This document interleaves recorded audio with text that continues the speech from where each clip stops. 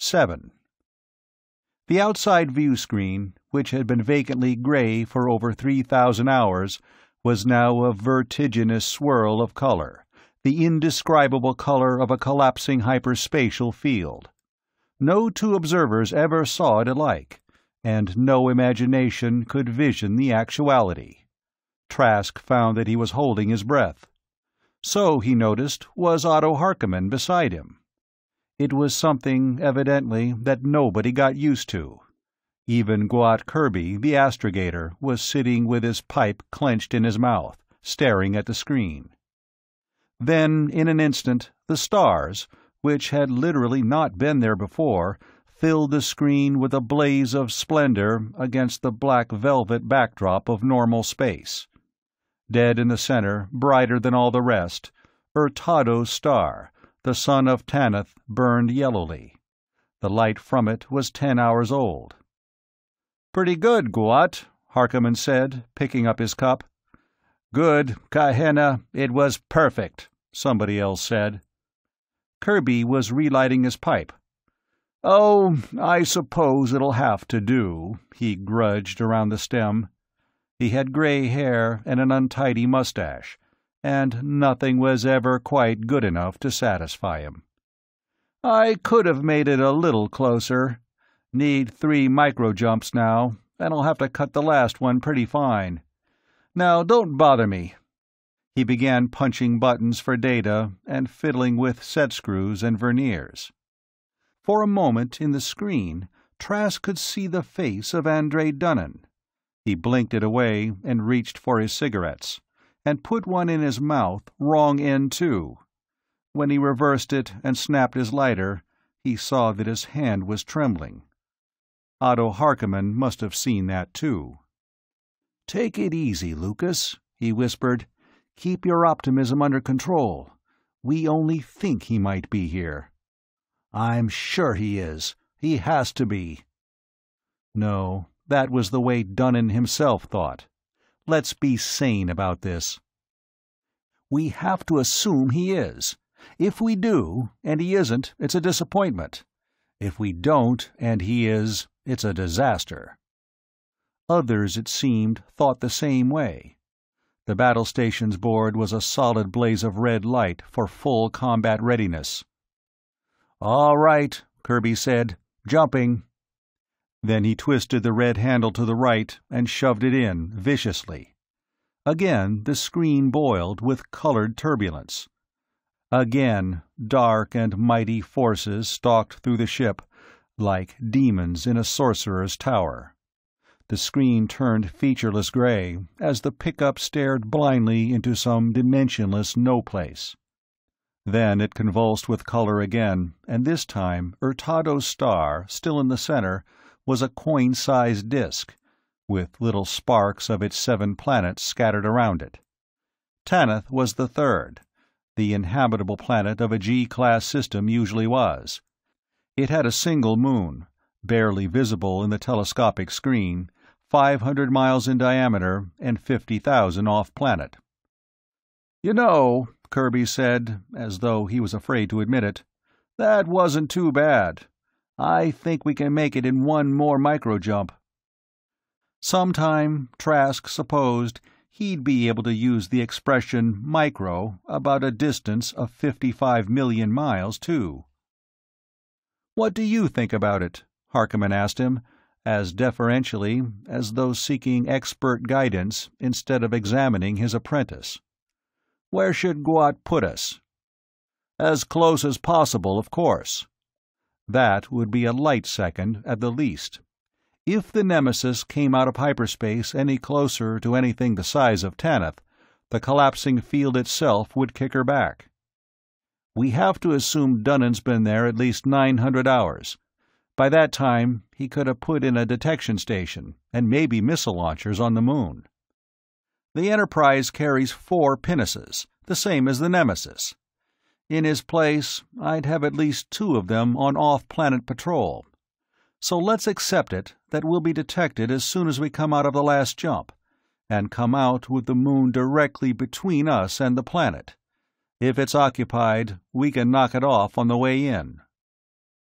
A lot of captains would try to come out with the moon masked off by the planet, Harkaman said. Would you? The big man shook his tousled head. No. If they have launchers on the moon, they could launch at us in a curve around the planet, by data relayed from the other side, and we'd be at a disadvantage replying. Just go straight in. You hearing this, Guatt? Yeah, it makes sense. Sort of. Now stop pestering me. Sharll, look here a minute. The normal space astrogator conferred with him. Alvyn Karffard, the executive officer, joined them. Finally, Kirbey pulled out the big red handle, twisted it, and said, All right, jumping. He shoved it in.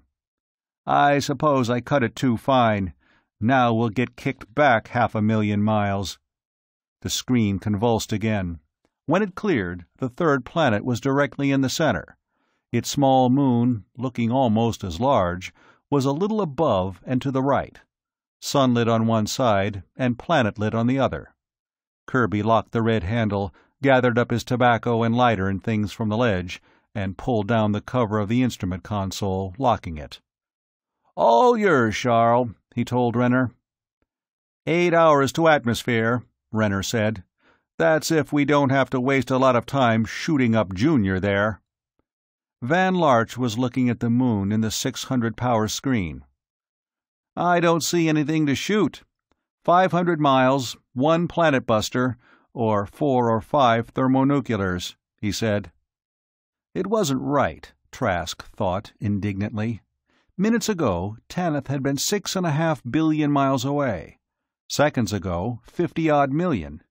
And now, a quarter of a million, and looking close enough to touch in the screen. It would take them eight hours to reach it, why on hyperdrive you could go 48 trillion miles in that time. Well, it took a man just as long to walk across a room today as it had taken Pharaoh the First, or Homo sape. In the telescopic screen, Tanith looked like any picture of any Terra-type planet from space, with cloud-blurred contours of seas and continents and a vague mottling of gray and brown and green, topped at the pole by an ice cap. None of the surface features, not even the major mountain ranges or rivers, were yet distinguishable, but Harkaman and Sharll Renner and Alvyn Karffard and the other old hands seemed to recognize it.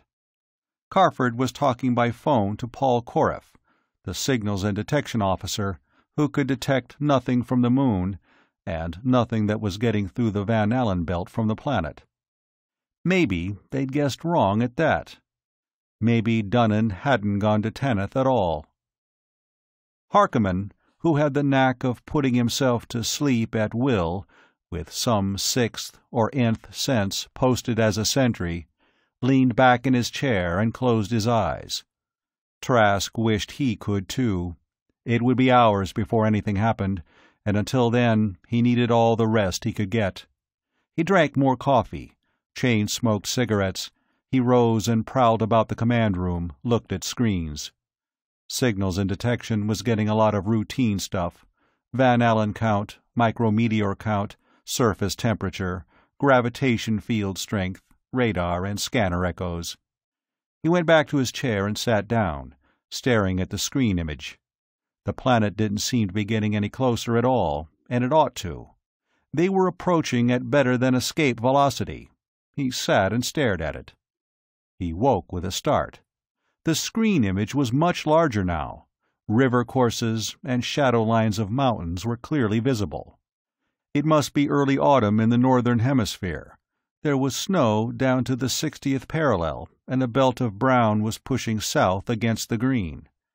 Harkaman was sitting up, eating lunch. By the clock, it was four hours later. "Have a good nap?" he asked. "We're picking up stuff now radio and screen signals. Not much, but some. The locals wouldn't have learned enough for that in the five years since I was here. We didn't stay long enough, for one thing. On decivilized planets that were visited by space Vikings, the locals picked up bits and scraps of technology very quickly. In the four months of idleness and long conversations while they were in hyperspace, he had heard many stories confirming that but from the level to which Tanith had sunk, Radio and screen communication in five years was a little too much of a jump. You didn't lose any men, did you? That happened frequently. Men who took up with local women, men who had made themselves unpopular with their shipmates, men who just liked the planet and wanted to stay. They were always welcomed by the locals for what they could do and teach. No, we weren't there long enough for that. Only 350 hours. This we're getting is outside stuff. Somebody's there beside the locals. Dunnan. He looked again at the battle stations board. It was still uniformly red-lighted. Everything was on full combat ready. He summoned a mess robot, selected a couple of dishes, and began to eat. After the first mouthful, he called to Alvyn Karffard. "Is Paul getting anything new?" he asked. Karffard checked. A little contragravity field distortion effect. It was still too far to be sure. He went back to his lunch. He had finished it and was lighting a cigarette over his coffee when a red light flashed and a voice from one of the speakers shouted. "Detection! Detection from planet! Radar and microray!" Karffard began talking rapidly into a handphone. Harkaman unhooked one beside him and listened. Coming from a definite point, about 25th North Parallel, he said, aside. Could be from a ship hiding against the planet. There's nothing at all on the moon. They seemed to be approaching the planet more and more rapidly. Actually, they weren't. The ship was decelerating to get into an orbit, but the decreasing distance created the illusion of increasing speed. The red lights flashed once more. Ship detected, just outside atmosphere, coming around the planet from the west. Is she the Enterprise? Can't tell yet, Karffard said, and then cried, There she is, in the screen. That spark, about thirty degrees north, just off the west side. Aboard her, too, voices from speakers would be shouting, Ship detected! And the battle station board would be blazing red and Andray Dunnan at the command desk. "She's calling us." That was Paul Koreff's voice, out of the squawk box on the desk. "Standard Sword World impulse code. Interrogative: What ship are you? Informative: Her screen combination. Request: Please communicate." "All right," Harkaman said. "Let's be polite and communicate. What's her screen combination?" Koreff's voice gave it, and Harkaman punched it out. The communication screen in front of them lit at once. Trask shoved over his chair beside Harkaman's, his hands tightening on the arms. Would it be Dunnan himself, and what would his face show when he saw who confronted him out of his own screen? It took him an instant to realize that the other ship was not the Enterprise at all. The Enterprise was the Nemesis twin, her command room was identical with his own. This one was different in arrangements and fittings. The Enterprise was a new ship. This one was old, and had suffered for years at the hands of a slack captain and a slovenly crew. And the man who sat facing him in the screen was not Andray Dunnan, or any man he'd ever seen before. A dark-faced man, with an old scar that ran down one cheek from a little below the eye he had curly black hair on his head and on a V of chest exposed by an open shirt. There was an ashtray in front of him, and a thin curl of smoke rose from a cigar in it, and coffee steamed in an ornate but battered silver cup beside it. He was grinning gleefully.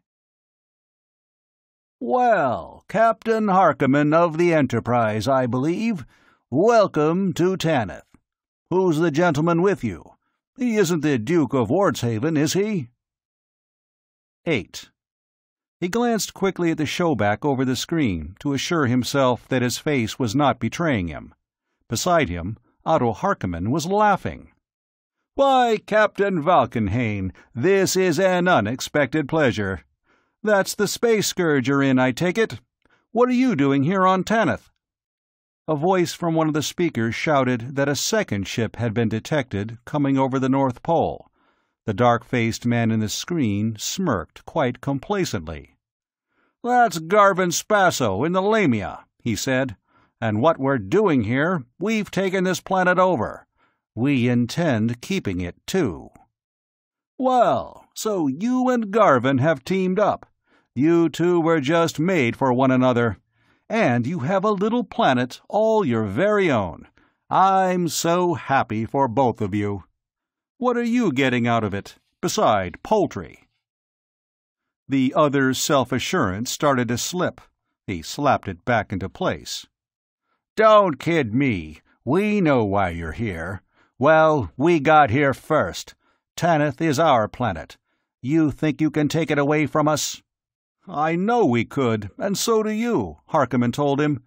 We outgun you and Spasso together. Why, a couple of our pinnaces could knock the Lamia apart. The only question is, do we want to bother? By now he had recovered from his surprise, but not from his disappointment. If this fellow thought the Nemesis was the Enterprise, before he could check himself, he had finished the thought aloud. Then the Enterprise didn't come here at all. The man in the screen started. Isn't that the Enterprise you're in? Oh, no. Pardon my remissness, Captain Valkanhayn, Harkaman apologized. This is the Nemesis. The gentleman with me, Lord Lucas Trask, is owner aboard, for whom I am commanding. Lord Trask, Captain Boake Valkanhayn of the Space Scourge. Captain Valkanhayn is a space Viking. He said that as though expecting it to be disputed.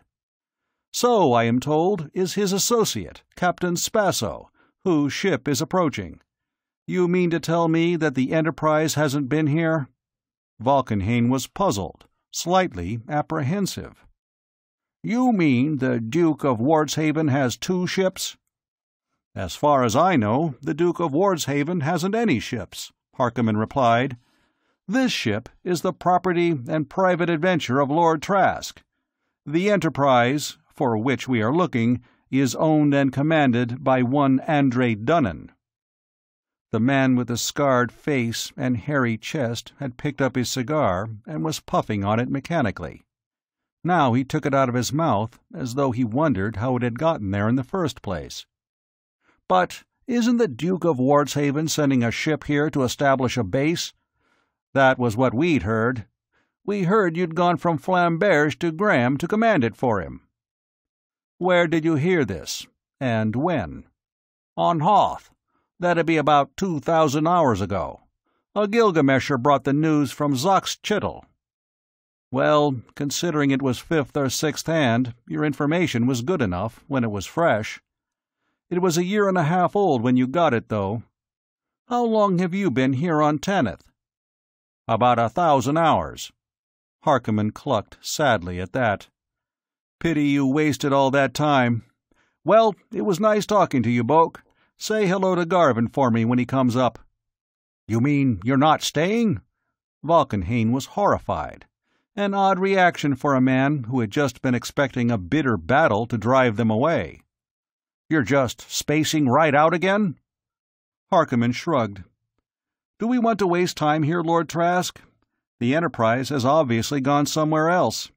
She was still in hyperspace when Captain Valkanhayn and his accomplice arrived here.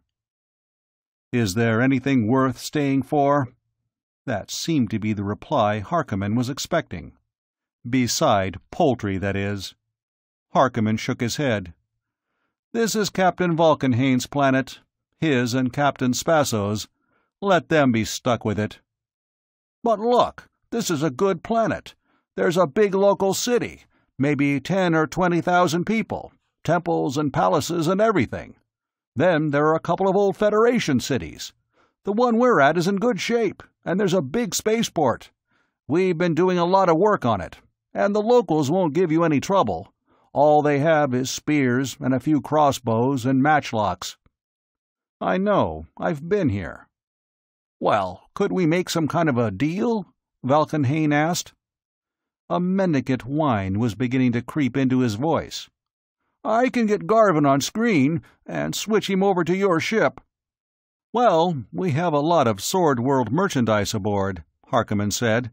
We could make you good prices on some of it. How are you fixed for robotic equipment? But aren't you going to stay here? Valkanhayn was almost in a panic.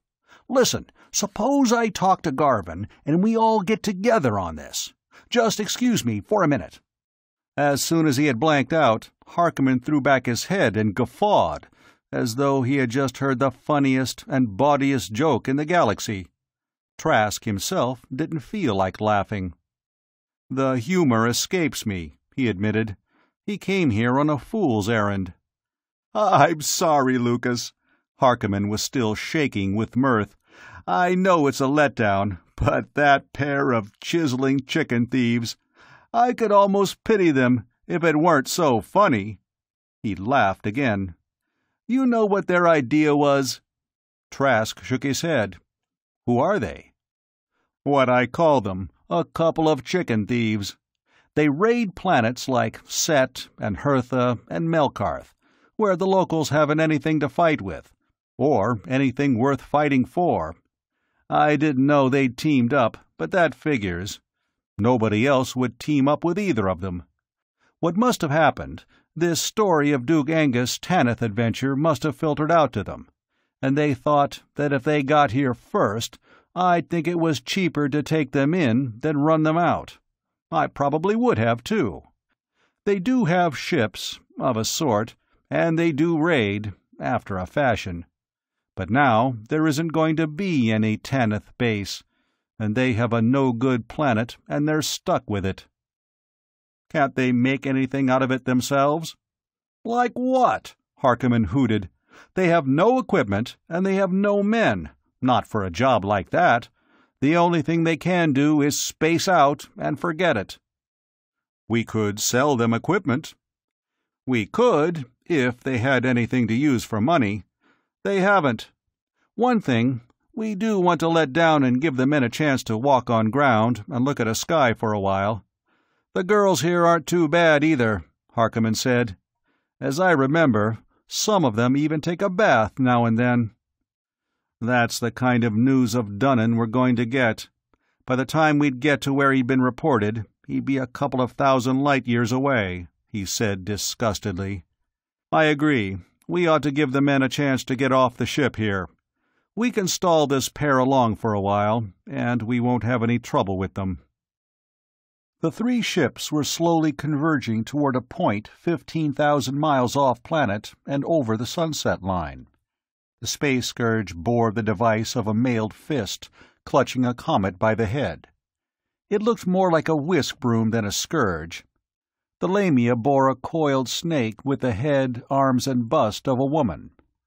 Valkanhayn and Spasso were taking their time about screening back, and he began to wonder if they weren't maneuvering the Nemesis into a cross-fire position. He mentioned this to Harkaman and Alvyn Karffard. They both laughed. Just holding ship's meetings, Karffard said.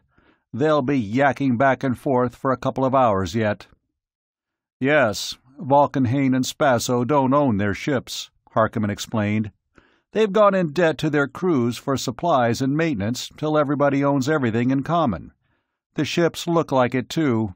They don't even command, really. They just preside over elected command councils.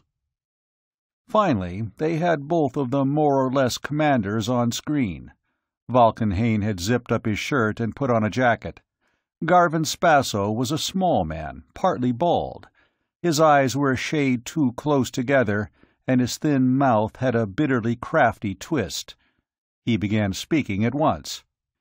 Captain, Boake tells me you say you're not here in the service of the Duke of Wardshaven at all, he said aggrievedly. That's correct, Harkaman said.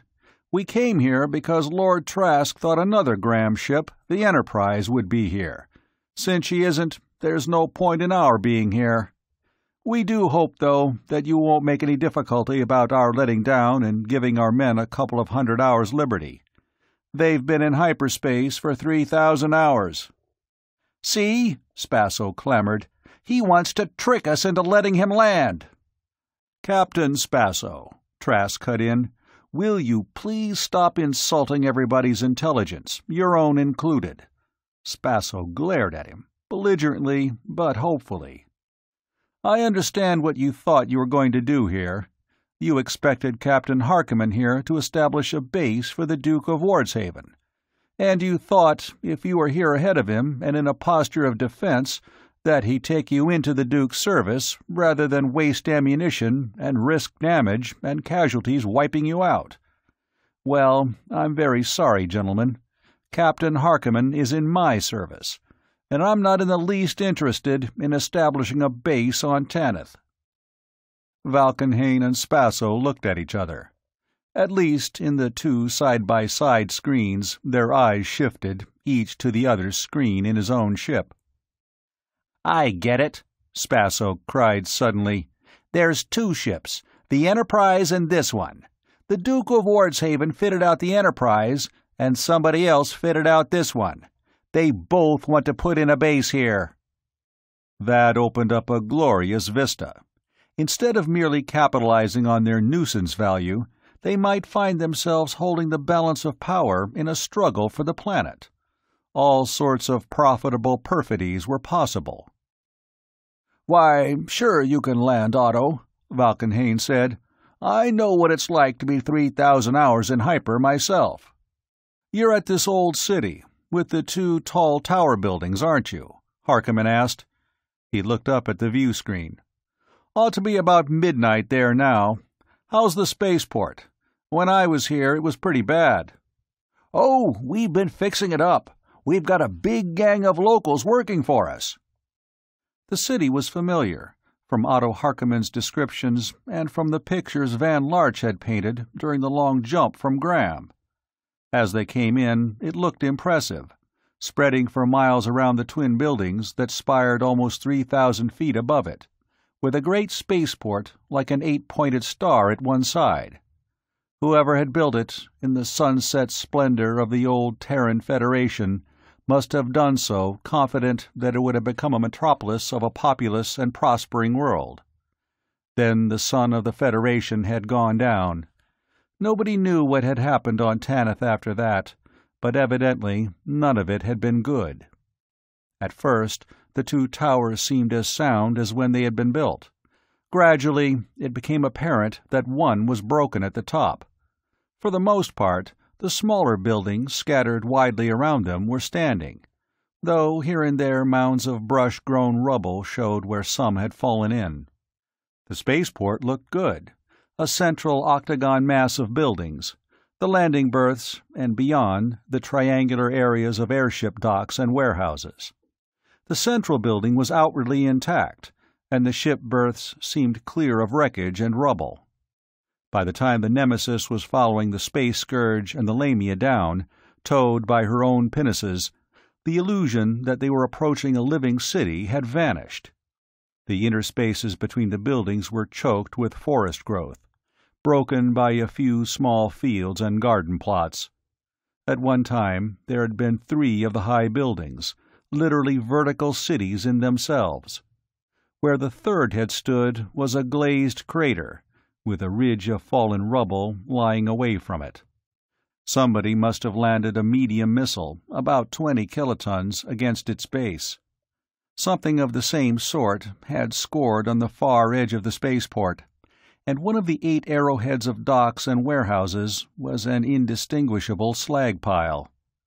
The rest of the city seemed to have died of neglect rather than violence. It certainly hadn't been bombed out. Harkaman thought most of the fighting had been done with sub-neutron bombs or omega-ray bombs that killed people without damaging the real estate. Or bioweapons, a man-made plague that had gotten out of control and all but depopulated the planet. It takes an awful lot of people working together at an awful lot of jobs to keep a civilization running. Smash the installations and kill the top technicians and scientists, and the masses don't know how to rebuild and go back to stone hatchets. Kill off enough of the masses, and even if the planet and the know-how is left, there's nobody to do the work. I've seen planets that decivilized both ways. Tanith, I think, is one of the latter. That had been during one of the long after-dinner bull sessions on the way out from Gram. Somebody, one of the noble gentlemen adventurers who had joined the company after the piracy of the Enterprise and the murder, had asked, But some of them survived. Don't they know what happened? In the old times, there were sorcerers. They built the old buildings by wizard arts. Then the sorcerers fought among themselves and went away, Harkaman said. That's all they know about it. You could make any kind of an explanation out of that. As the pinnaces pulled and nudged the Nemesis down to her berth, he could see people, far down on the spaceport floor, at work. Either Valkanhayn and Spasso had more men than the size of their ships indicated, or they had gotten a lot of locals to work for them. More than the population of the moribund city, at least as Harkaman remembered it. There had been about five hundred in all. They lived by mining the old buildings for metal, and trading metalwork for food and textiles and powder and other things made elsewhere. It was accessible only by ox carts traveling a hundred miles across the plains. It had been built by a contragravity using people with utter disregard for natural travel and transportation routes. I don't envy the poor buggers, Harkaman said, looking down at the ant-like figures on the spaceport floor. Boake Valkanhayn and Garvan Spasso have probably made slaves of the lot of them. If I was really going to put in a base here, I wouldn't thank that pair for the kind of public relations work they've been doing among the locals. 9. That was just about the situation. Spasso and Valkanhayn and some of their officers met them on the landing stage of the big building in the middle of the spaceport, where they had established quarters. Entering and going down a long hallway, they passed a dozen men and women gathering up rubbish from the floor, with shovels and with their hands, and putting it into a lifter skid. Both sexes wore shapeless garments of coarse cloth, like ponchos, and flat-soled sandals. Watching them was another local in a kilt, buskins, and a leather jerkin. He wore a short sword on his belt and carried a wickedly thronged whip. He also wore a Space Viking combat helmet, painted with the device of Spasso's Lamia. He bowed as they approached, putting a hand to his forehead. After they had passed, they could hear him shouting at the others, and the sound of whip blows. You can make slaves out of people, and some will always be slave drivers. They will bow to you, and then take it out on the others. Harkaman's nose was twitching, as though he had a bit of rotten fish caught in his mustache. We have about eight hundred of them. There were only three hundred that were any good for work here.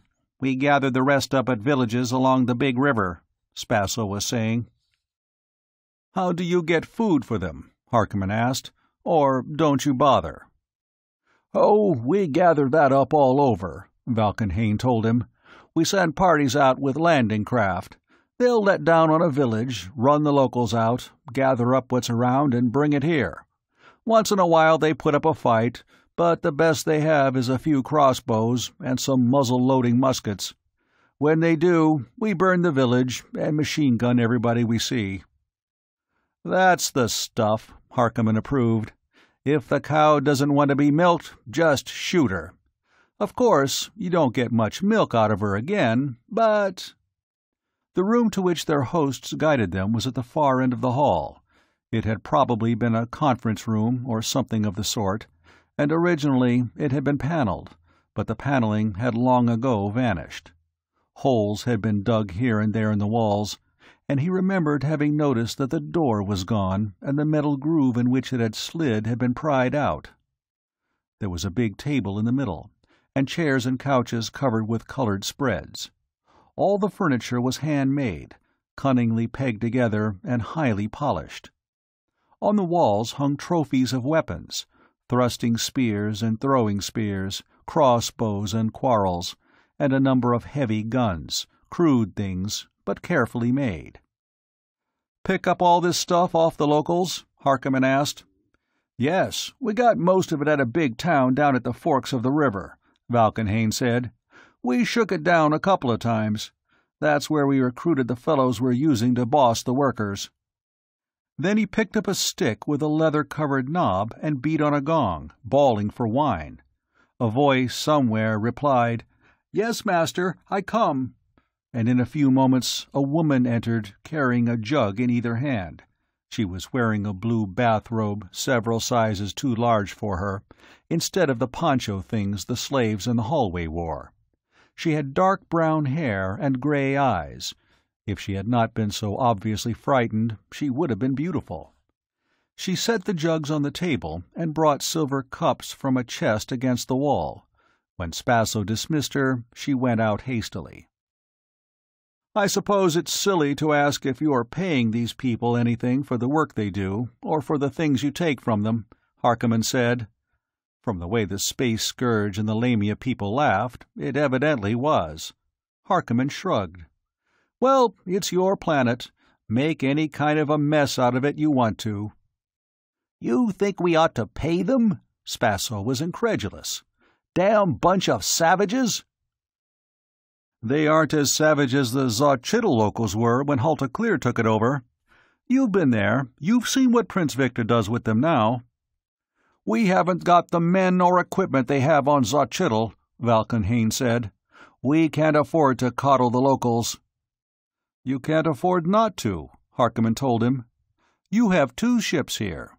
You can only use one for raiding, the other will have to stay here to hold the planet. If you take them both away, the locals, whom you have been studiously antagonizing, will swamp whoever you leave behind. And if you don't leave anybody behind, what's the use of having a planetary base? Well, why don't you join us? Spasso finally came out with it. With our three ships, we could have a real thing here.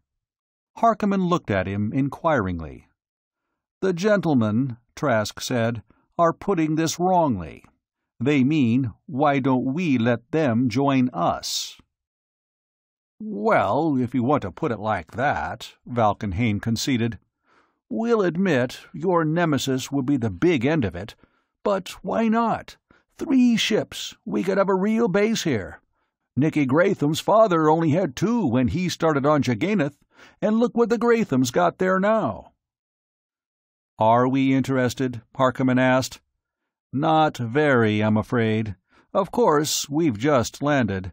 Tanith may have great possibilities. Suppose we reserve decision for a while and look around a little. There were stars in the sky, and for good measure a sliver of moon on the western horizon. It was only a small moon, but it was close. He walked to the edge of the landing stage, and Elaine was walking with him. The noise from inside, where the Nemesis crew were feasting with those of the Lamia and Space Scourge, grew fainter. To the south a star moved, one of the pinnaces they had left on off-planet watch. There was firelight far below, and he could hear singing. Suddenly he realized that it was the poor devils of locals whom Valkanhayn and Spasso had enslaved. Elaine went away quickly. Have your fill of space Viking glamour, Lucas? He turned. It was Baron Rathmore, who had come along to serve for a year or so, and then hitch a ride home from some base planet and cash in politically on having been with Lucas Trask. For the moment, I'm told that this lot aren't typical. I hope not. They're a pack of sadistic brutes, and piggish along with it. Well, brutality and bad manners I can condone. But Spasso and Valkanhayn are a pair of ignominious little crooks, and stupid along with it. If Andray Dunnan had gotten here ahead of us, he might have done one good thing in this wretched life. I can't understand why he didn't come here. I think he still will, Rathmore said. I knew him, and I knew Nevil Ormm. Ormm's ambitious, and Dunnan's insanely vindictive. He broke off with a sour laugh. I'm telling you that. Why didn't he come here directly, then? Maybe he doesn't want a base on Tanith. That would be something constructive. Dunnan's a destroyer. I think he took that cargo of equipment somewhere and sold it. I think he'll wait till he's fairly sure the other ship is finished. Then he'll come in and shoot the place up, the way he bit off that abruptly. The way he did my wedding. I think of it all the time. The next morning, he and Harkaman took an air car and went to look at the city at the forks of the river. It was completely new, in the sense that it had been built since the collapse of Federation civilization and the loss of civilized technologies. It was huddled on a long, irregularly triangular mound, evidently to raise it above flood level. Generations of labor must have gone into it. To the eyes of a civilization using contragravity and powered equipment, it wasn't at all impressive. Fifty to a hundred men with adequate equipment could have gotten the thing up in a summer. It was only by forcing himself to think in terms of spadeful after spadeful of earth, cartload after cartload creaking behind straining beasts, timber after timber cut with axes and dressed with adzes, stone after stone and brick after brick that he could appreciate it. They even had it walled, with a palisade of tree trunks behind which earth and rocks had been banked, and along the river were docks, at which boats were moored. The locals simply called it Trade Town. As they approached, a big gong began booming, and a white puff of smoke was followed by the thud of a signal gun. The boats, long canoe-like craft and round-bowed, many-oared barges, put out hastily into the river through binoculars they could see people scattering from the surrounding fields, driving cattle ahead of them. By the time they were over the city, nobody was in sight.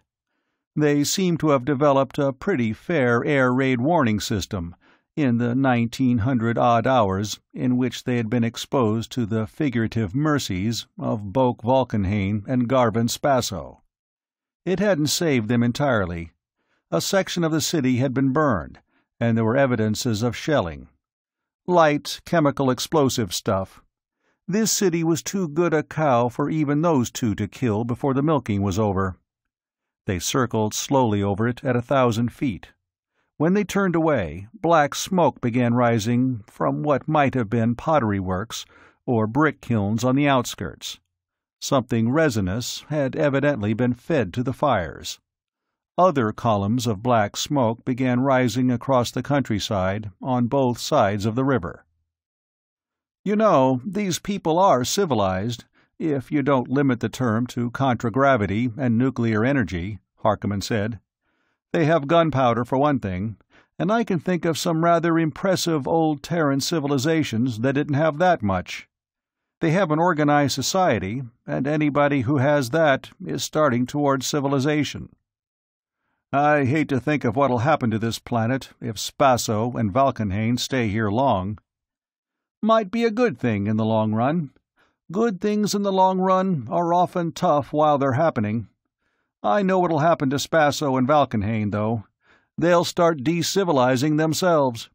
They'll stay here for a while, and when they need something they can't take from the locals, they'll go chicken stealing after it but most of the time they'll stay here lording it over their slaves, and finally their ships will wear out and they won't be able to fix them. Then, sometime the locals'll jump them when they aren't watching and wipe them out. But in the meantime, the locals'll learn a lot from them. They turned the aircar west again along the river. They looked at a few villages. One or two dated from the Federation period. They had been plantations before whatever it was had happened. More had been built within the past five centuries. A couple had recently been destroyed, in punishment for the crime of self-defense. You know, he said at length, I'm going to do everybody a favor. I'm going to let Spasso and Valkanhayn persuade me to take this planet away from them. Harkaman, who was piloting, turned sharply. You crazy or something? When somebody makes a statement you don't understand, don't tell him he's crazy. Ask him what he means. Who said that? On target, Harkaman grinned. What do you mean, Lord Trask? I can't catch Dunnan by pursuit. I'll have to get him by interception. You know the source of that quotation, too. This looks to me like a good place to intercept him. When he learns I have a base here, he'll hit it sooner or later. And even if he doesn't, we can pick up more information on him, when ships start coming in here, than we would batting around all over the old Federation. Harkaman considered for a moment, then nodded. Yes, if we could set up a base like Nergal or Xochitl, he agreed. There'll be four or five ships, space Vikings, traders, Gilgameshers and so on, on either of those planets all the time. If we had the cargo Dunnan took to space in the Enterprise, we could start a base like that. But we haven't anything near what we need, and you know what Spasso and Valkanhayn have. We can get it from Graham. As it stands, the investors in the Tanith adventure, from Duke Angus down, lost everything they put into it. If they're willing to throw some good money after bad, they can get it back, and a handsome profit to boot. And there ought to be planets above the rowboat and ox cart level, not too far away, that could be rated for a lot of things we'd need. That's right. I know of half a dozen within 500 light years. They won't be the kind Spasso and Valkanhayn are in the habit of raiding, though. And besides machinery, we can get gold, and valuable merchandise that could be sold on Graham. And if we could make a go of it, you'd go farther hunting Dunnan by sitting here on Tanith than by going looking for him. That was the way we used to hunt marsh pigs on Kolada when I was a kid. Just find a good place and sit down and wait. They had Valkanhayn and Spasso aboard the Nemesis for dinner. It didn't take much guiding to keep the conversation on the subject of Tanith and its resources, advantages, and possibilities. Finally, when they had reached brandy and coffee, Trask said idly, I believe, together, we could really make something out of this planet. That's what we've been telling you all along, Spasso broke in eagerly. This is a wonderful planet. It could be. All it has now is possibilities. We'd need a spaceport for one thing. Well, what's this here? Valkanhayn wanted to know. It was a spaceport, Harkaman told him. It could be one again. And we'd need a shipyard, capable of any kind of heavy repair work. Capable of building a complete ship, in fact. I never saw a ship come into a Viking base planet, with any kind of a cargo worth dickering over, that hadn't taken some damage in getting it. Prince Victor of Xochitl makes a good half of his money on ship repairs, and so do Nicky Gratham on Jagannath, and the Everards on Hoth. And engine works, hyperdrive, normal space, and pseudograv, Trask added. And a steel mill, and a collapsed matter plant, and robotic equipment works, and... Oh, that's out of all reason, Valkanhayn cried. It would take twenty trips with a ship the size of this one to get all that stuff here. And how'd we ever be able to pay for it? That's the sort of base Duke Angus of Wardshaven planned. The Enterprise, practically a duplicate of the Nemesis, carried everything that would be needed to get it started when she was pirated. When she was. Now you're going to have to tell the gentleman the truth, Harkaman chuckled. I intend to. He laid his cigar down, sipped some of his brandy, and explained about Duke Angus' Tanith adventure. It was part of a larger plan. Angus wanted to gain economic supremacy for Wardshaven to forward his political ambitions. It was, however, an entirely practical business proposition.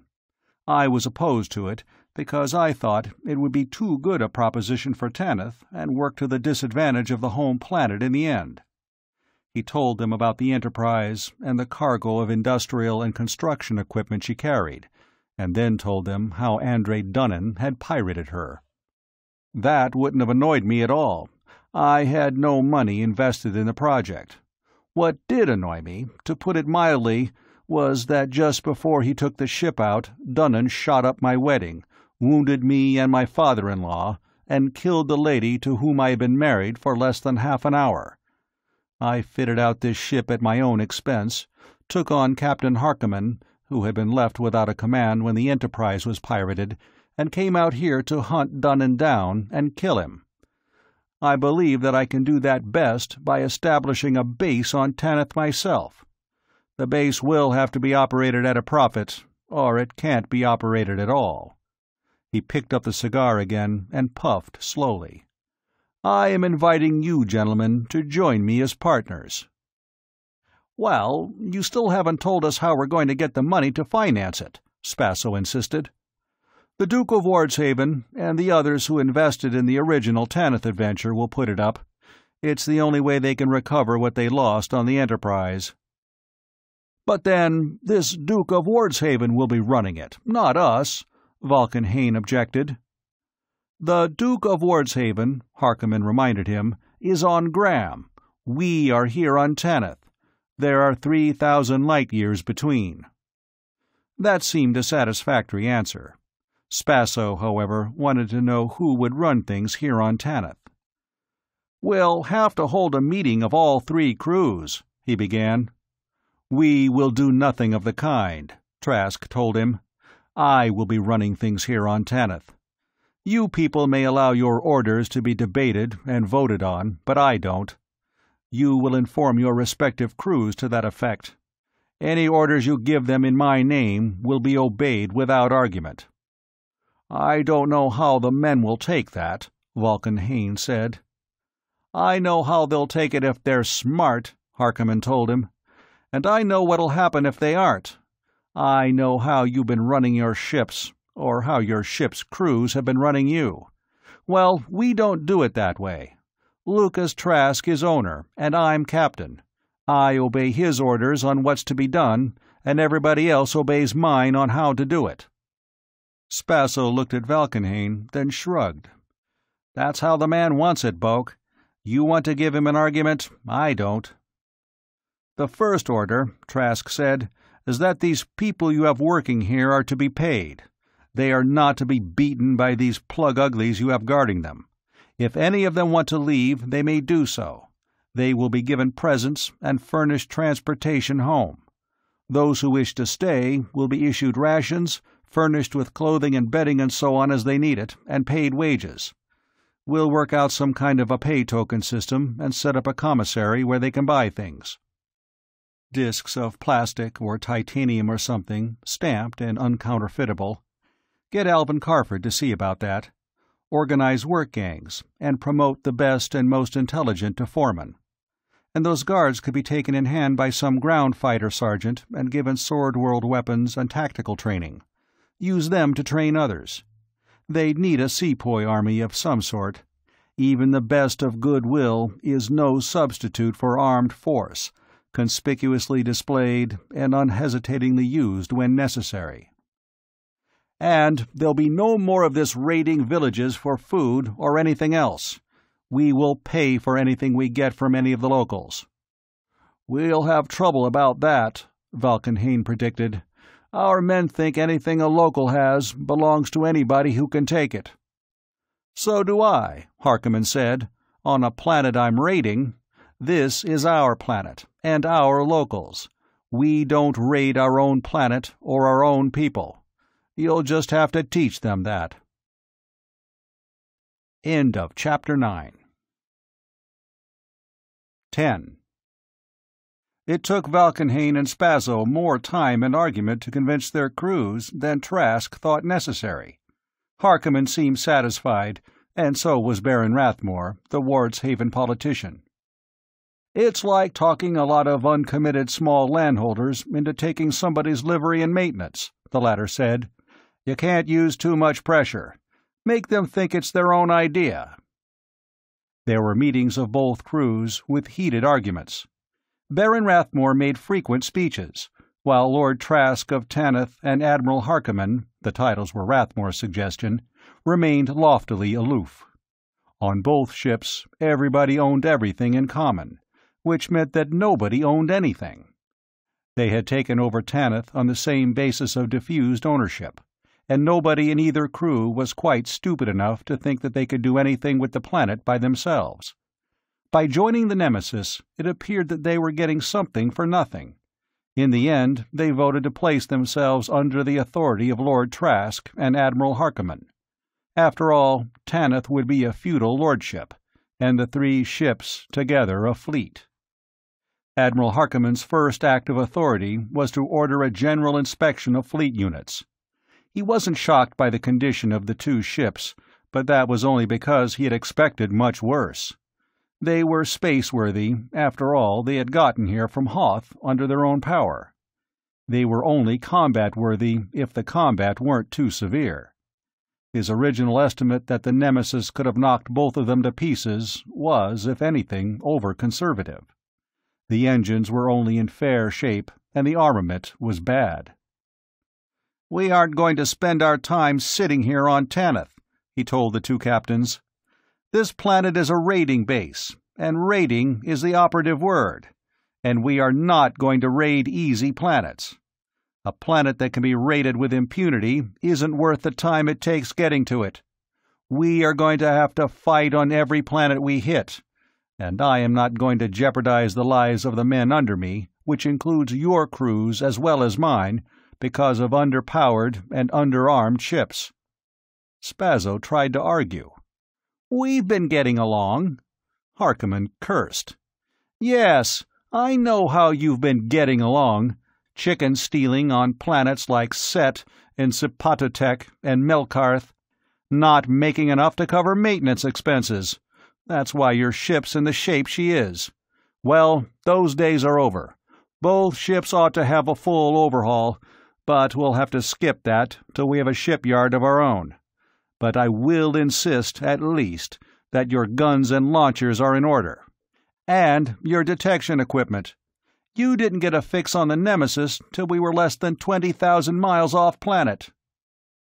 We had better get the Lamia in condition first, Trask said. We can put her on off-planet watch instead of that pair of pinnaces. Work on the Lamia started the next day, and considerable friction heat was generated between her officers and the engineer sent over from the Nemesis. Baron Rathmore went aboard and came back laughing. You know how that ship's run? he asked. There's a sort of Soviet of officers chief engineer, exec, guns and missiles, astrogator, and so on. Spasso's just an animated ventriloquist dummy. I talk to all of them. None of them can pin me down to anything, but they think we're going to heave Spasso out of command and appoint one of them, and each one thinks he'll be it. I don't know how long that'll last. It's a string and tape job, like the one we're having to do on the ship. It'll hold till we get something better. We'll have to get rid of Spasso, Harkaman agreed. I think we'll put one of our own people in his place. Valkanhayn can stay in command of the Space Scourge. He's a spaceman. But Spasso's not good for anything. The local problem was complicated, too. The locals spoke lingua terra of a sort, like every descendant of the race that had gone out from the Sol system in the third century, but it was a barely comprehensible sort. On civilized planets, the language had been frozen unalterably in microbooks and voice tapes. But microbooks can only be read and sound tapes heard with the aid of electricity, and Tanith had lost that long ago. Most of the people Spasso and Valkanhayn had kidnapped and enslaved came from villages within a radius of 500 miles. About half of them wanted to be repatriated, they were given gifts of knives, tools, blankets, and bits of metal, which seemed to be the chief standard of value and medium of exchange, and shipped home. Finding their proper villages was not easy. At each such village the news was spread that the Space Vikings would hereafter pay for what they received. The Lamia was overhauled as rapidly as possible. She was still far from being a good ship, but she was much closer being one than before. She was fitted with the best detection equipment that could be assembled and put on orbit. Alvyn Karffard took command of her, with some of Spasso's officers, some of Valkanhayn's, and a few from the Nemesis. Harkaman was intending to use her for retraining of all the Lamia and Space Scourge officers, and rotated them back and forth. The labor guards, a score in number, were relieved of their duties, issued Sword World firearms, and given intensive training. The trade tokens, stamps of colored plastic, were introduced, and a store was set up where they could be exchanged for Sword World items. After a while, it dawned on the locals that the tokens could also be used for trading among themselves. Money seemed to have been one of the adjuncts of civilization that had been lost along Tanith's downward path. A few of them were able to use contragravity handlifters and hand-towed lifter skids. Several were even learning to operate things like bulldozers, at least to the extent of knowing which lever or button did what. Give them a little time, Trask thought, watching a gang at work down on the spaceport floor. It wouldn't be many years before half of them would be piloting air cars. As soon as the Lamia was on orbital watch, the Space Scourge was set down at the spaceport and work started on her. It was decided that Valkanhayn would take her to Gram. Enough Nemesis people would go along to ensure good faith on his part, and to talk to Duke Angus and the Tanith investors. Baron Rathmore and Patrick Morland and several other Wardshaven gentlemen adventurers for the latter function, Alvyn Karffard to act as Valkanhayn's exec, with private orders to supersede him in command if necessary, and Guatt Kirbey to do the astrogating. We'll have to take the Nemesis and the Space Scourge out first and make a big raid, Harkaman said. We can't send the Space Scourge back to Gram empty.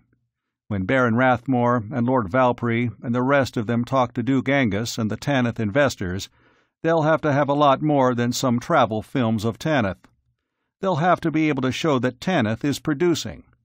We ought to have a little money of our own to invest, too. But Otto, both ships? That worried Trask. Suppose Dunnan comes and finds nobody here but Spasso and the Lamia. Chance we'll have to take. Personally, I think we have a year to a year and a half before Dunnan shows up here. I know, we were fooled trying to guess what he'd do before, but the sort of raid I have in mind will need two ships, and in any case, I don't want to leave both those ships here while we're gone, even if you do. When it comes to that, I don't think I do either. But we can't trust Spasso here alone, can we? We'll leave enough of our people to make sure, We'll leave Alvyn. That'll mean a lot of work for me that he'd otherwise do on the ship. And Baron Rathmore and young Valpry. And the men who've been training our sepoys. We can shuffle things around and leave some of Valkanhayn's men in place of some of Spasso's. We might even talk Spasso into going along. That'll mean having to endure him at our table, but it would be wise. Have you picked a place to raid? Three of them. First, Capera. That's only thirty light years from here. That won't amount to much, just chicken stealing. It'll give our green hands some relatively safe combat training, and it'll give us some idea of how Spasso's and Valkanhayn's people behave, and give them confidence for the next job. And then? Amaterasu. My information about Amaterasu is about twenty years old. A lot of things can happen in twenty years, all I know of it, I was never there myself, is it's fairly civilized. About like Terra, just before the beginning of the atomic era. No nuclear energy, they lost that, and of course nothing beyond it. But they have hydroelectric and solar electric power, and non nuclear jet aircraft. And some very good chemical explosive weapons, which they use very freely on each other it was last known to have been raided by a ship from Excalibur twenty years ago. That sounds promising. And the third planet? Beowulf. We won't take enough damage on Amaterasu to make any difference there, but if we saved Amaterasu for last, we might be needing too many repairs. It's like that? Yes, they have nuclear energy. I don't think it would be wise to mention Beowulf to Captain Spasso and Valkanhayn. Wait till we've hit Capera and Amaterasu. They may be feeling like heroes then. 11. Capera left a bad taste in Trask's mouth. He was still tasting it when the colored turbulence died out of the screen and left the gray nothingness of hyperspace. Garvan Spasso.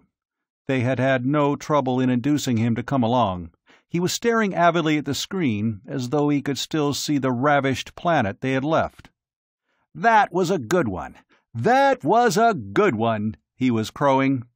He had said that a dozen times since they had lifted out. Three cities in five days, and all the stuff we gathered up around them. We took over two million stellars. And did ten times as much damage getting it, and there were no scale of values by which to compute the death and suffering. Knock it off, Spasso. You said that before. There was a time when he wouldn't have spoken to the fellow, or anybody else like that. Gresham's law extended. Bad manners drive out good manners. Spasso turned on him indignantly. Who do you think you are? He thinks he's Lord Trask of Tanith, Harkaman said. He's right, too. He is. He looked searchingly at Trask for a moment, then turned back to Spasso. I'm just as tired as he is of hearing you pop your mouth about a lousy two million stellars. Nearer a million and a half, but two million's nothing to pop about. Maybe it would be for the Lamia, but we have a three-ship fleet and a planetary base to meet expenses on. Out of this raid, a ground fighter or an able spaceman will get a 150 stellars. We'll get about a thousand ourselves. How long do you think we can stay in business doing this kind of chicken stealing? You call this chicken stealing? I call it chicken stealing, and so'll you before we get back to Tanith, if you live that long. For a moment, Spasso was still affronted. Then, temporarily, his vulpine face showed avaricious hope, and then apprehension. Evidently, he knew Otto Harkaman's reputation, and some of the things Harkaman had done weren't his idea of an easy way to make money. Capera had been easy.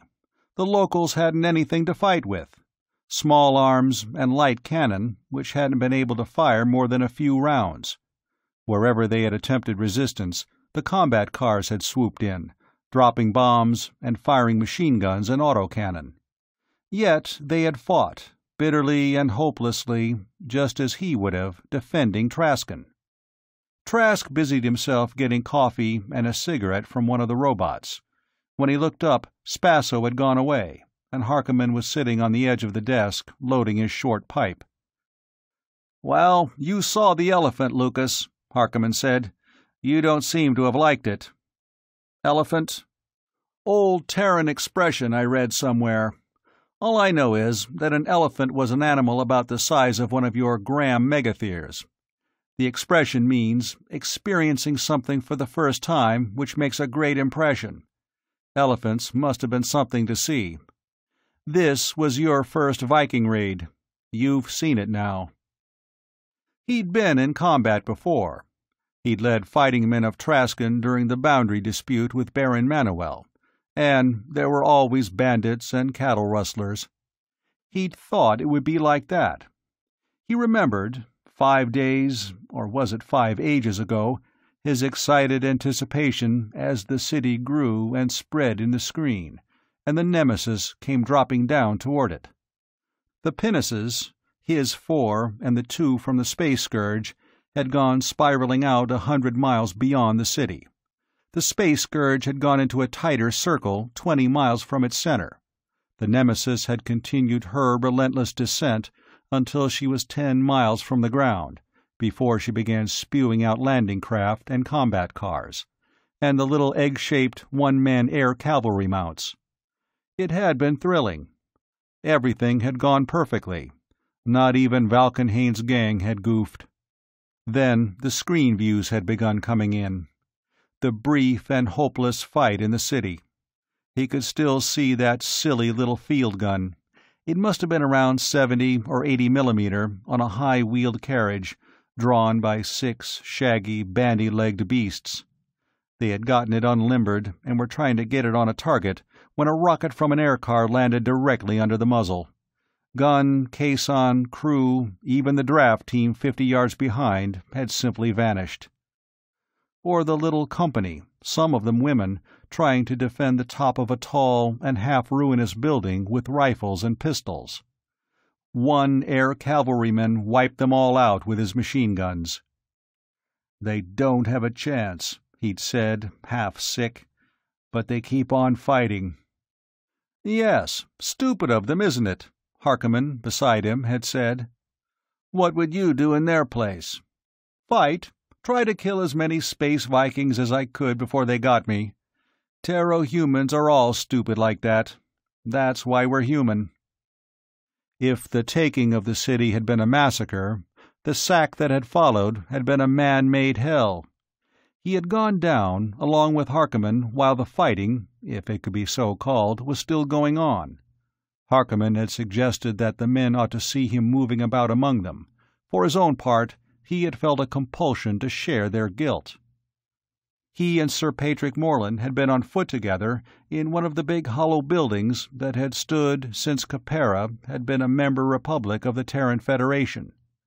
The air was acrid with smoke, powder smoke, and the smoke of burning. It was surprising how much would burn in this city of concrete and vitrified stone.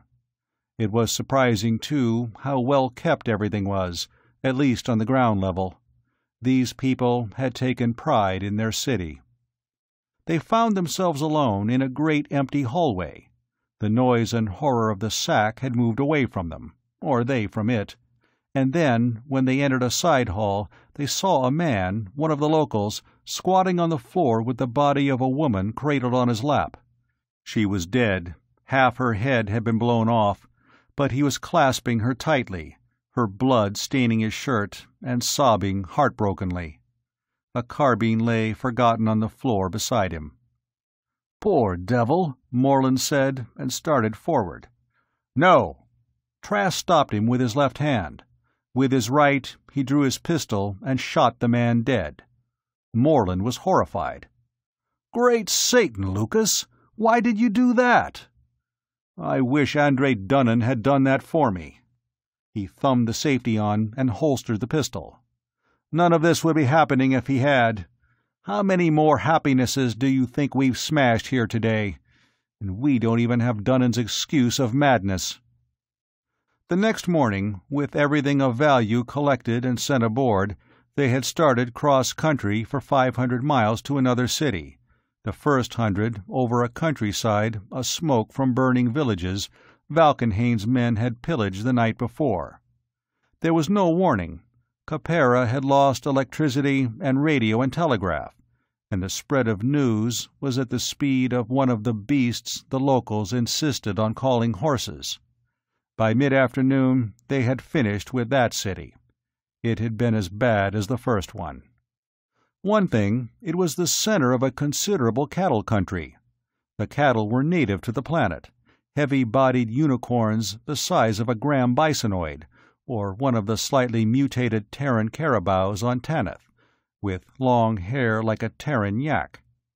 He had detailed a dozen of the Nemesis ground fighters who had been vaqueros on his Traskon ranches to collect a score of cows and four likely bulls, with enough fodder to last them on the voyage. The odds were strongly against any of them living to acclimate themselves to Tanith, but if they did, they might prove to be one of the most valuable pieces of loot from Capera. The third city was at the forks of a river, like Trade Town on Tanith. Unlike it, it was a real metropolis. They should have gone there first of all. They spent two days systematically pillaging it. The Caperans carried on considerable river traffic, with stern-wheel steamboats, and the waterfront was lined with warehouses crammed with every sort of merchandise. Even better, the Caperans had money, and for the most part it was gold specie, and the bank vaults were full of it. Unfortunately, the city had been built since the fall of the Federation, and the climb up from the barbarism that had followed, and a great deal of it was wood. Fire started almost at once, and it was almost completely on fire by the end of the second day. It had been visible in the telescopic screen even after they were out of atmosphere a black smear until the turning planet carried it into darkness and then a lurid glow. It was a filthy business. Harkaman nodded. Robbery and murder always are. You didn't have to ask me who said that space Vikings are professional robbers and murderers. But who was it said that he didn't care how many planets were raided and how many innocents massacred in the old Federation? A dead man, Lucas Trask of Traskon. You wish now that you'd kept Traskon and stayed on Gram? No, if I had, I'd have spent every hour wishing I was doing what I'm doing now. I can get used to this, I suppose. I think you will. At least you kept your rations down. I didn't on my first raid, and had bad dreams about it for a year. He gave his coffee cup back to the robot and got to his feet. Get a little rest for a couple of hours, then draw some Alcadote vitamin pills from the medic. As soon as things are secured, there'll be parties all over the ship, and we'll be expected to look in on every one of them, have a drink, and say, Well done, boys. Elaine came to him while he was resting. She looked at him in horror, and he tried to hide his face from her, and then he realized that he was trying to hide it from himself. 12. They came straight down on Eglindsby on Amaterasu, the Nemesis and Space Scourge side by side. The radar had picked them up at point five light seconds. By this time, the whole planet knew they were coming, and nobody was wondering why. Paul Koreff was monitoring at least twenty radio stations, assigning somebody to each one as it was identified. What was coming in was uniformly excited, some panicky, and all in fairly standard lingua terra. Garvan Spasso was perturbed. So, in the communication screen from the Space Scourge was Boake Valkanhayn. They got radio, and they got radar, he clamored. Well, so what? Harkaman asked. They had radio and radar twenty years ago, when Rock Morgan was here in the coal sack. But they don't have nuclear energy, do they? Well, no. I'm picking up a lot of industrial electrical discharge, but nothing nuclear. All right. A man with a club can lick a man with his fists. A man with a gun can lick half a dozen with clubs. And two ships with nuclear weapons can lick a whole planet without them. Think it's time, Lucas? He nodded. Paul, can you cut in on that Eglindsby station yet? What are you going to do? Valkanhayn wanted to know, against it in advance. Summon them to surrender. If they don't, we will drop a hellburner. And then we will pick out another city and summon it to surrender. I don't think the second one will refuse. If we are going to be murderers, we'll do it right this time. Valkanhayn was aghast, probably at the idea of burning an unlooted city. Spasso was sputtering something about, Teach the dirty neobarbs a lesson. Koreff told him he was switched on. He picked up a handphone. Space Vikings, Nemesis, and Space Scourge calling the city of Eglindsby. Space Vikings. He repeated it for over a minute. There was no reply. Vann, he called guns and missiles. A subcrit display job, about four miles over the city. He laid the phone down and looked to the underside view screen. A little later, a silvery shape dropped away from the ship's south pole. The telescopic screen went off, and the unmagnified screen darkened as the filters went on. Valkanhayn, aboard the other ship, was shouting a warning about his own screens. The only unfiltered screen aboard the Nemesis was the one tuned to the falling missile. The city of Eglindsby rushed upward in it, and then it went suddenly dark. There was an orange-yellow blaze in the other screens. After a while, the filters went off and the telescopic screen went on again. He picked up the phone. Space Vikings calling Eglindsby. This is your last warning. Communicate at once. Less than a minute later, a voice came out of one of the speakers. Eglindsby calling Space Vikings. Your bomb has done great damage. Will you hold your fire until somebody in authority can communicate with you? This is the chief operator at the Central State Telecast Station. I have no authority to say anything to you, or discuss anything. Oh, good. That sounds like a dictatorship, Harkaman was saying. Grab the dictator and shove a pistol in his face, and you have everything. There is nothing to discuss. Get somebody who has authority to surrender the city to us. If this is not done within the hour, the city and everybody in it will be obliterated. Only minutes later, a new voice said, This is Gonzales Jan, Secretary to Pedrosan Pedro, President of the Council of Syndics. We will switch President Pedrosan over as soon as we can speak directly to the personage in supreme command of your ships. That is myself. Switch him to me at once. After a delay of less than fifteen seconds, they had President Pedrosan Pedro. We are prepared to resist, but we realize what this would cost in lives and destruction of property, he began. You don't begin to. Do you know anything about nuclear weapons? From history, we have no nuclear power of any sort. We can find no fissionables on this planet. The cost, as you put it, would be everything and everybody in Eglindsby and for a radius of almost a hundred miles. Are you still prepared to resist? The president of the Council of Syndics wasn't, and said so. Trask asked him how much authority his position gave him. I have all powers in any emergency. I think, the voice added tonelessly, that this is an emergency the Council will automatically ratify any decision I make. Harkaman depressed a button in front of him. What I said, dictatorship, with parliamentary false front. If he isn't a false front dictator for some oligarchy. He motioned to Harkaman to take his thumb off the button. How large is this council? Sixteen, elected by the syndicates they represent, there is the Syndicate of Labor, the Syndicate of Manufacturers, the Syndicate of Small Businesses, the corporate state, first century pre-atomic on Terra. Benny the Moose, Harkaman said. Let's all go down and talk to them. When they were sure that the public had been warned to make no resistance, the Nemesis went down to two miles, bulking over the center of the city. The buildings were low by the standards of a contragravity-using people the highest barely a thousand feet, and few over five hundred, and they were more closely set than sword-worlders were accustomed to, with broad roadways between. In several places there were queer arrangements of crossed roadways, apparently leading nowhere. Harkaman laughed when he saw them. Airstrips! I've seen them on other planets where they've lost contragravity. For winged aircraft, powered by chemical fuel. I hope we have time for me to look around here. I'll bet they even have railroads here. The great damage caused by the bomb was about equal to the effect of a medium hurricane. He had seen worse from high winds at Traskon. Mostly it had been moral, which had been the kind intended.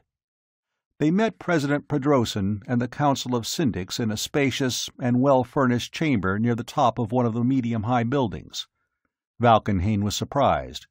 In a loud aside, he considered that these people must be almost civilized. They were introduced. Amaterasuan surnames preceded personal names, which hinted at a culture and a political organization making much use of registration by alphabetical list. They all wore garments which had the indefinable but unmistakable appearance of uniforms. When they had all seated themselves at a large oval table, Harkaman drew his pistol and used the butt for a gavel. "Lord Trask, will you deal with these people directly?" he asked, stiffly formal. "Certainly, Admiral." He spoke to the President, ignoring the others. "We want it understood that we control this city, and we expect complete submission. As long as you remain submissive to us, we will do no damage beyond removal of the things we wish to take from it and there will be no violence to any of your people, or any indiscriminate vandalism. The visit we are paying you will cost you heavily, make no mistake about that. But whatever the cost, it will be a cheap price for avoiding what we might otherwise do. The President and the Syndics exchanged relieved glances. Let the taxpayers worry about the cost. They'd come out of it with whole skins. You understand, we want maximum value and minimum bulk, he continued.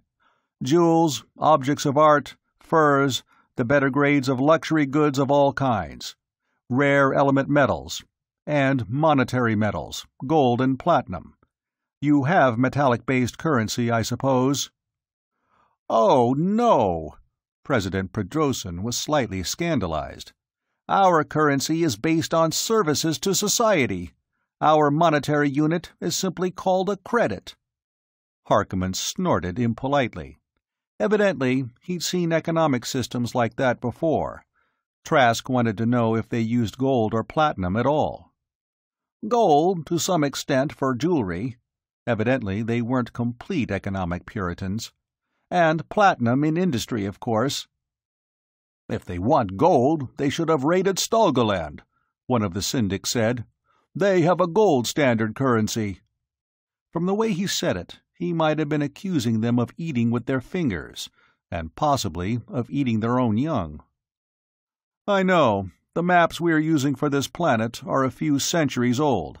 Stalgaland doesn't seem to appear on them. I wish it didn't appear on ours either. That was General Dagro Ektor, syndic for state protection. It would have been a good thing for this whole planet if you decided to raid them instead of us, somebody else said. It isn't too late for these gentlemen to make that decision, Pedrosin said. I gather that gold is a monetary metal among your people? When Trask nodded, he continued. It is also the basis of the Stalgonian currency. The actual currency is paper, theoretically redeemable in gold. In actuality, the circulation of gold has been prohibited, and the entire gold wealth of the nation is concentrated in vaults at three depositories. We know exactly where they are. You begin to interest me, President Pedrosin. I do. Well, you have two large spaceships and six smaller craft.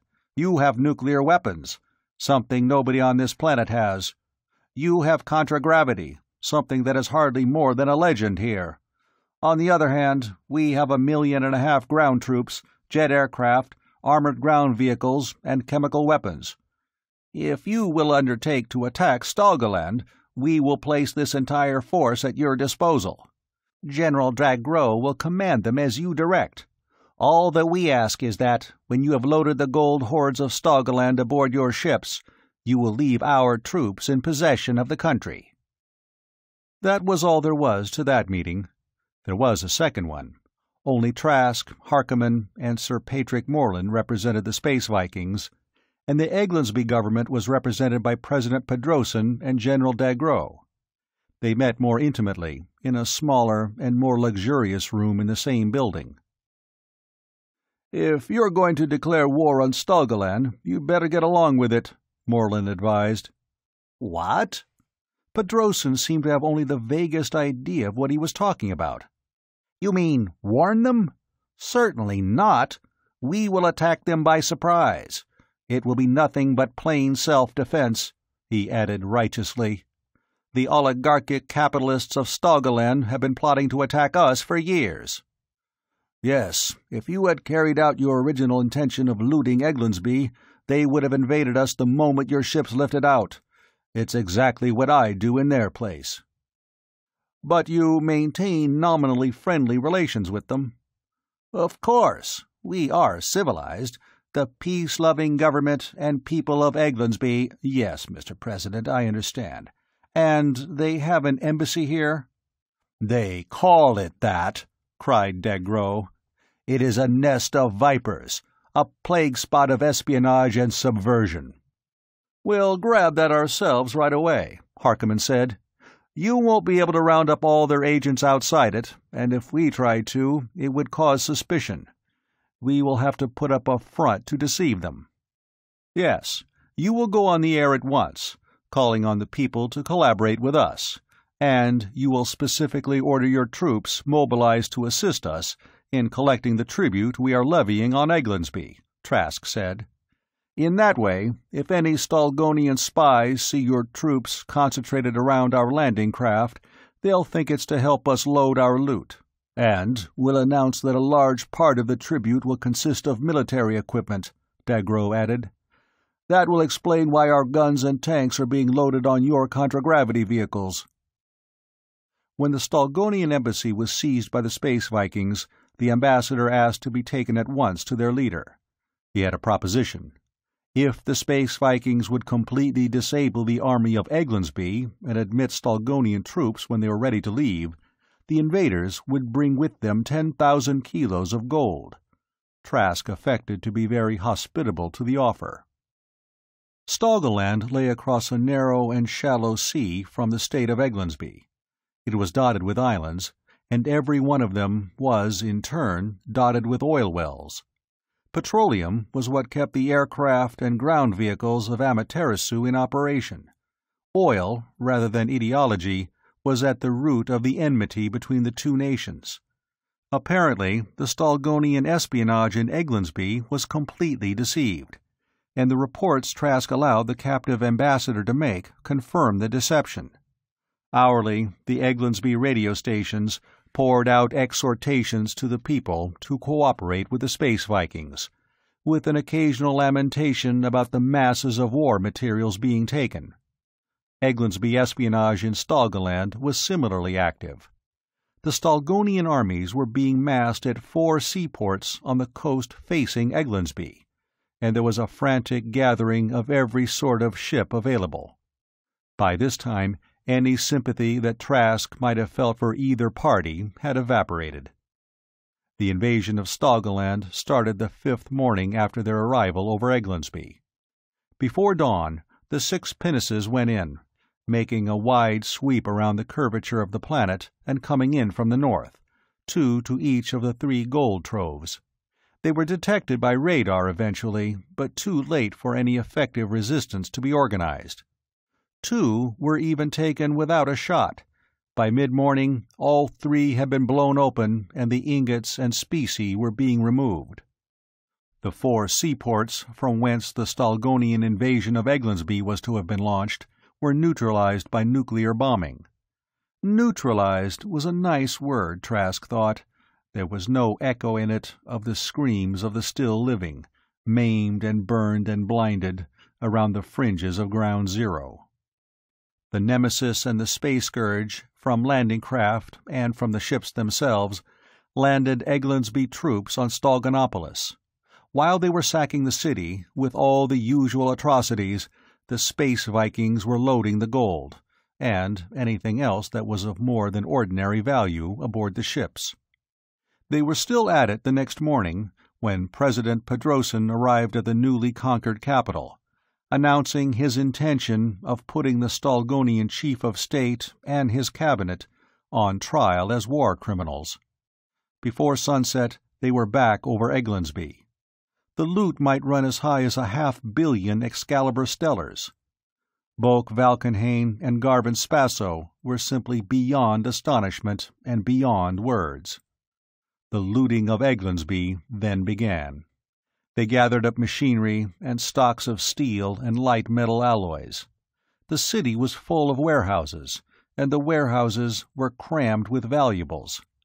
In spite of the socialistic and egalitarian verbiage behind which the government operated, there seemed to be a numerous elite class, and if gold were not a monetary metal, it was not despised for purposes of ostentation. There were several large art museums, Vann Larch, their nearest approach to an art specialist, took charge of culling the best from them. And there was a vast public library. Into this Otto Harkaman vanished, with half a dozen men and a contragravity scow. Its historical section would be much poorer in the future. President Pedrosin Pedro was on the radio from Stalgonopolis that night. Is this how you space Vikings keep faith? he demanded indignantly. You've abandoned me and my army here in Stalgoland, and you're sacking Eglindsby. You promised to leave Eglindsby alone if I helped you get the gold of Stalgoland. I promised nothing of the kind. I promised to help you take Stalgoland. You've taken it, Trask told him. I promised to avoid unnecessary damage or violence. I've already hanged a dozen of my own men for rape, murder, and wanton vandalism. Now we expect to be out of here in 24 hours. You'd better be back here before then. Your own people are starting to loot. We did not promise to control them for you. That was true. What few troops had been left behind, and the police, were unable to cope with the mobs that were pillaging in the wake of the Space Vikings. Everybody seemed to be trying to grab what he could and let the Vikings be blamed for it. He had been able to keep his own people in order. There had been at least a dozen cases of rape and wanton murder, and the offenders had been promptly hanged. None of their shipmates, Not even the Space Scourge Company seemed resentful. They felt the culprits had deserved what they'd gotten. Not for what they'd done to the locals, but for disobeying orders. A few troops had been flown in from Stalgoland by the time they had gotten their vehicles stowed and were lifting out. They didn't seem to be making much headway. Harkaman, who had gotten his load of microbooks stowed and was at the command desk, laughed heartily. I don't know what Pedrosin'll do. Gehenna, I don't even know what I'd do if I'd gotten myself into a mess like that. He'll probably bring half his army back, leave the other half in Stalgoland, and lose both. Suppose we drop in in about three or four years, just out of curiosity. If we make 20% of what we did this time, the trip would pay for itself. After they went into hyperspace and had the ship secured, the parties lasted three galactic standard days, and nobody was at all sober. Harkaman was drooling over the mass of historical material he had found. Spasso was jubilant. Nobody could call this chicken stealing. He kept repeating that as long as he was able to say anything. Capera, he conceded, had been. Lousy two or three million stellars. Pooh! End of chapter 12.